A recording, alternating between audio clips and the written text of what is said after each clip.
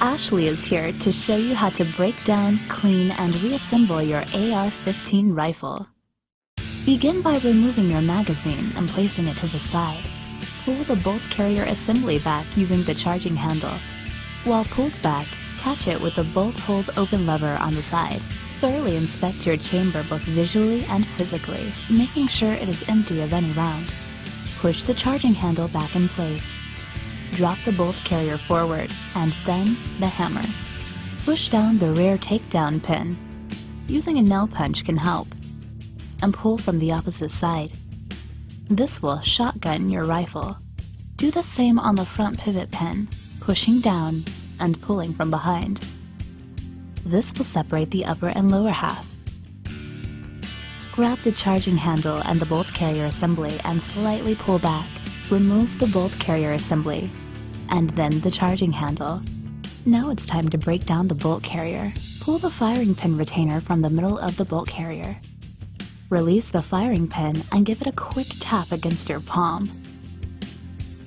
Remove the bolt cam pin by rotating 90 degrees and pulling out. Lastly, remove the bolt from the bolt carrier. On the center of your bolt, pop the pivot pin and remove the extractor. Place gun solvent into a small container and add the small pieces from the bolt and bolt carrier. This will help break down any carbon buildup. Using a Q-tip, clean the inside of the gas key on the bolt carrier. Remove the buffer tube and buffer spring by pushing down on the catch and pulling them out.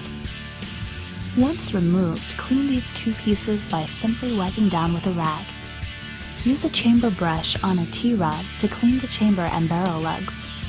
Once done, replace with a smaller wire brush. We used a 22 caliber wire brush. Dip into a little bit of solvent and run down the bore. Remove the brush before pulling out from the bore. Always clean from breech to muzzle. Next, add a slotted tip to your T-rod and add a clean patch. Run down through the receiver and chamber and into the bore. Remove the patch and continue with new patches until clean. Drop some solvent onto a bore mop or clean patch and repeat the process. Now that some time has passed, use a wire brush to knock off any remaining deposits on smaller bolt pieces you left in solvent. Make sure to wipe down all these pieces with a rag. Add the extractor back onto your bolt, popping the pivot pin back in place. Use a drop of oil on the bolt's gas rings. Some advise to offset your gas rings, but this shouldn't make much difference. Place the bolt back inside the bolt carrier, making sure to align the holes on the side. Add the cam pin and rotate 90 degrees.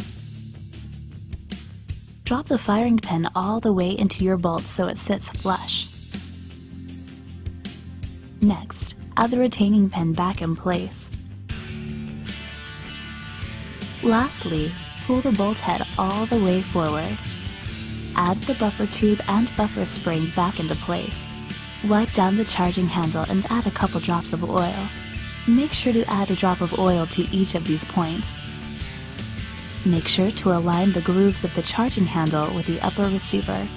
Drop the bolt carrier into the groove on the charging handle. Line them up and push in simultaneously.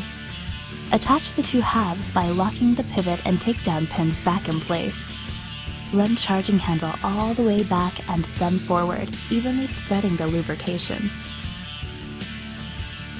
Wipe down your rifle from any extra oil.